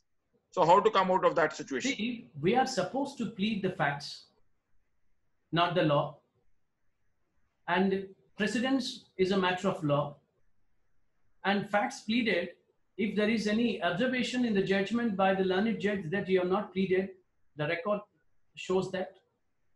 And uh, if at all it's a matter of question, question of law, if at all court says that that's not been argued, it's always open for the, at the appellate stage, pure question of law to be argued or get it remanded if the court is convinced on that aspect, if nothing rather much turns on it. So I just found it difficult to understand because we are concerned with the facts when it comes to the pleadings, not the law. Why are we mixing that law into that one? Yes. So, uh, Devika Raj, she's a lawyer in Punjab Haryana High Court. She says, with virtual courts becoming the need of the day, importance of written pleading seems to be uh, override the impact of oral pleadings or arguments. Please share your some tips how to draft concise, precise pleadings so that we can hit uh, bullseye. Yeah, part of the question I've already answered. I've said books like uh, uh, Point Made will uh, teach you how to draft. Then I have told about uh, Brian A. Garner's couple of books, Winning Brief, and then Plain English for Lawyers. They've all given all these techniques. And uh, the virtue of any brief, any argument is brevity. We know that one. Courts have been flooded with cases. Judges have been under tremendous pressure, if I can speak on that aspect. And uh, anybody has the art of presenting in a nutshell, and I think they are going to be the preferred uh, choices of any judge, having an eye on the time. Mukesh Tanwar. Uh, how does it affect that face value, social status, once you have to, once you enter into the profession because these big cars, big show off business, sometimes it's the showbiz. Do you believe that that does help or one should remain more focused on the professional aspects? I believe we should focus more on the professional skills. I'll tell why. Suppose an engineer, he passes out, then he takes up his profession, and nobody's going to question him whether he's right or wrong. So is the case the doctor. He treats us. If we don't get cured, again we go back to him. Trial and error, he changes the medicine. But a lawyer's position, he has to perform on his feet in the public glare. And the moment he makes a mistake, the other side counsel will be pouncing on him. So it's a daily battle for him. So having a big car and a bungalow will not come to his rescue when it comes to performing a delivery. At the end of the day, your client only comes to you provided you can deliver. And he hardly, it hardly matters for him whether you have a fine bungalow or a very fine car. Uh, that I also seen that people sometimes in big houses do not make the mark, whereas people coming from a humble background uh, do make a mark. I was just reading uh, that you also come from a, a farmer's family, and you have not, you in fact have not studied initially in English, but once if we one uh, hear you during all, uh, the second session of ours, it doesn't seem that you had actually studied all your academics in Telugu. How was the transition from Telugu to English? How did you do that? How many hours averagely you believe that the lawyers, etc., should study? Is it true that you actually studied in Telugu and all? Indeed, true. And um, it may not be proper to speak about myself we better uh, have some question that will be. No, no, I'm just saying that you studied in Telugu. How is the transition from Telugu to English? Because everybody feels in handicap if one has re, uh, studied in a regional language, Hindi or the mother, uh, the Punjabi or whatever language he has done. Sometimes mm. one he feels that there's a handicap. But I'm saying that once we have seen that you have, uh, you have become proficient in English, what tip do you give to the participants that how should they should also improve their English? That's my take know, I'll do one thing. I will not say what I have done because that touches upon my personal life, but I'll tell what can be done. I'll tell what can be done. I, I, I, say it's in just like in law, what we say, not a judgment in persona, but judgment in rem. I'll tell. I made a conscious effort to learn the language. I bought a couple of books on, say, vocabulary. I've started studying them then noting down, gathering every information. So is the case with grammar, so is the case with usage, and all these things. And when it comes to the fluency, the style, and other things, you know, after all, we learn the language imitatively. We imitate. Suppose you are in a particular part of the country, you pick up that accent of Hindi. And if you are in some other place, still it goes. So essentially, it's a matter of imitation. As far as as I was in the village, I did not have anybody, any peer to imitate or to model myself after. Then I started listening to radio, say BBC. Then, uh, without my knowing, subconsciously and passively, I picked up a bit of uh, flair or fluency from that. So I, I, kept on with that one. I believe language learning is a daily process. To this day, I just spend 10 minutes for vocabulary, 10 minutes for my usage, and all those things. It's a never ending process. So I have just learned the hard way. For example, we are talking about the tools of trade. Vocabulary is very essential for a lawyer to communicate. And uh, how long will it take to have a good repertoire of uh, vocabulary? It takes considerable time because the uh, older you are, the less capable of uh, learning new words. And a child could at least learn 35 to 50 words a month, new words, whereas an adult could learn about four words a month. This is what psychology says, at least. Then there have been wonderful books on uh, this vocabulary. And the simple method, as I say to young lawyers, is root method. For example, 80% of English words are either from Latin or Greek, and they have roots. The root has a meaning. Wherever you see that root, you can see something out of it. Take the example of salt. Salt means jump in Latin. Say insult, you are jumping into a person. Consult, com means together, companion. So consult, salt means jumping. You are jumping together with another person with your ideas. Okay, result, jumping back. Whatever you have done, it's coming back to you. That's result, result assault, add plus salt, jump again. You're jumping into somebody with your words or with your actions. You're attacking that man. That's called assault. Then somersault. Soma means body in Latin. Salt means jump. Somersault means jumping your body by whatever means. So one simple word has given you any number of words. You take spect to look, specs, spectra, spectacle, inspect, conspect. All these things come out of that one. So there are books which are available, say for 100 rupees, 150 rupees daily. I've been telling on the last occasion to my favorite thing. If you see a starry night on a clear day and uh, you start counting, how much time will it take to count all the stars visible to a naked eye? People say that it takes a lifetime or impossible, 100 years, 50 years, whatever. And you could check on the Google. One astrologer has said you could, with naked eye, see only 9,500 stars. Out of that, as we are in one hemisphere, you can see only 4,500. It takes about three years to count all of them. But what appears an impossible task when split into minute, minuscule things, it comes to an achievable thing. So any learning process, incremental and daily, you can be a master without you ever knowing it. Uh, so th uh, this is a relevant question not only for a young lawyer but also. Uh, Usha asks that sometimes as a young lawyer, one prepares a case in a particular manner and suddenly the judge asks a question beyond what he has actually prepared. Yes. And how, how to come out of it, how to uh, control that particular situation. Yes. Well, uh, honesty is the best policy. Sometimes you can add a bit of uh, praise uh, to the learned judge who put that one. Your lordships have seen that in a perspective which you have never imagined. In fact, honestly, I confess your lordships have taken by surprise on that aspect. It has never stuck to me. It's my mistake. If time is given, I'll get back to your lordships so that that may assist your lordship's effort to find the fact about the case. Something like that. Instead of saying, no, that's not important. My case depends on something else. Newton's principles, you please remember, instead of resisting and inviting much more resistance, better sail along and be candid and say that I have not looked at that perspective. If I'm given time, I will because we are fallible, we are uh, not what you call omniscient, knowing everything. That isn't humanly possible. Yes. Uh, so we are running short of time. Indeed, but, it's close to two uh, hours. Uh, it's close to two hours, but we never realized that when two hours were over. Just as uh, you were saying that you have to improve vocabulary, I was just reading an article in the morning. It said that let's assume there's a judgment also, or you're drafting again. Then every time you don't have to write the same words. Uh, with your permission, I will be just reading. He said that the way is that how you have to improve your vocabulary. He says, let's assume you have to write admitted.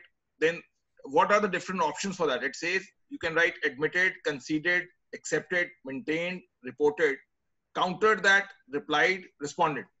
And then in summarizing the situation, he says you can't every time say agreed. You can use agreed, submitted, conceded, contended, replied, maintained, suggested, and argued. This he says that more you read, then more vocabularies for the same word you can always utilize it. Yes, variety is the spice of life. So one, according to you, is uh, reading and reading of more of reading. Now, one fact which we have always asked, and we had also asked you, invariably the lawyer or anybody who gets 50, 100 pages, 200 pages, what is your take whether one should make notes before uh, going for the arguments? Because in the preliminary hearing, the style of argument would be different. Once the reply has come, then the style of argument is different. Once you are in the lower court, then the style of argument is different because you have to appreciate the evidence. Do you believe that one should prepare the notes so that the pagination is there, or do you believe that one should make very concise notes? Uh, how, how do you funnel out the entire uh, gamut of 200 pages, 400 pages? What is your take? One should just jot down few points, or one should make three, four page note. Yes. We had Mr. Lakshmi Kumar on our, on our platform. He said just try to make the most concise notes which carry the page number, the citation, so that it is very easy for you to flip. Otherwise, 300, 400 pages, you can just go uh, ori from the entire gamut of affairs. Let me compare the advocacy with a daily activity like learning how to drive a car. You know how to ride a motorbike, you sit on it, it's a narrow one. So you know what lies on the left side, what lies on the right side, and straight away you zoom past. Then you buy a car, you want to learn it. You sit in the car, it's a big one. You sit on one corner, and it gets extended on your left to a large extent. When you try to drive, you don't know whether you're trampling on the feet of the people passing by on the left, left, left side because you don't have that measure of distance all of a sudden coming to your mind. So what you do sometimes, you'll put a flag post on the left extreme left side. When you drive, you can see the point of flag post on the left side. Many cars have that provision so that you can know the length of the car where, so that you can maintain some foot or distance from the passers-by and drive it. So note taking is like driving a car. So initially, it is the prompt prop that cannot be dispensed with. More so, when you write, you not only write, and you have been reading and remembering and re- reminding yourself. So it's something like reading four times, as they say, whatever it is. We were taught that way as children. So invariably, it is the prop you need it. But as you grow in stature, in experience, I mean stature, you grow experience, you will find your style. Some people feel that uh, as I give the lecture, my style, I could say, I note down the bullet points. Then the moment I see the point, it triggers the uh, rest of the expansion or explanation. I do that one. Otherwise, if you read every sentence, it's quite hackneyed. So is the case with preparation in uh, advocacy. Prepare as a beginner everything meticulously. As you grow, you can jettison some of the props you have been using because of your expertise. So it is an individual comfort, but preparing notes is an invaluable quality to begin with. But where to stop, it's an individual choice. So uh, we can have some semblance with the fact that it is just like when we uh, we are going in a uh, webinar, just like the PPTs are the bullet points of the entire yes. Uh, webinar. It is more just like a PPT, but more crispier than the PPT. Indeed. Yeah, yes, sir. So uh, the question and answers can continue and continue. It can also happen that we keep on asking the questions. It will happen that we will reach tomorrow's webinar, which we are having on mediation by Honorable Mr. Justice Kanan, Sriram Panchu, who did Article 3, uh, then on, in this Ayodhya, the Honorable Supreme Court had appointed him to look into the matter. And then we have Mr. Jawar. They're all experts, mediators. So we will get a flip into that. They're all trying to have a different issues uh, so that everybody can have a take. He can know what field he can excel, where he has to sharpen up himself or herself in that way. So it was a wonderful session, and we are quite indeed happy and enamored to the fact that uh, you have come second time on the platform within a short span. But today, as I said, that we were having large number of participants in the in the wait, waiting room itself of the uh, webinar. And for that reason, some participants just couldn't enter because they thought that probably we are not allowing them, but they were not realizing that there was too much in the waiting room. And the computers just couldn't do it. In fact, one of my computers just crashed because there were too many participants entering them. Be that as it may, sir, uh, thank you. Everyone stay connected, stay blessed. You can contact us on our Facebook uh, mobile number, what we have given on the chat box, as well as follow our Instagram page, as well as the Facebook page of Beyond Law CLC to have further updates on webinars. Those who have missed the any session of ours, like the previous session of Mr. Naidu, you can just subscribe to the Beyond Law CLC channel along with uh, Sapan Dhir YouTube channel. for, for the previous sessions also. Stay blessed, stay connected. Thank you, sir. And thank you all the participants. Thank you very much, friends. Believe in yourself and be the best. Thank you. All the best. Thank you.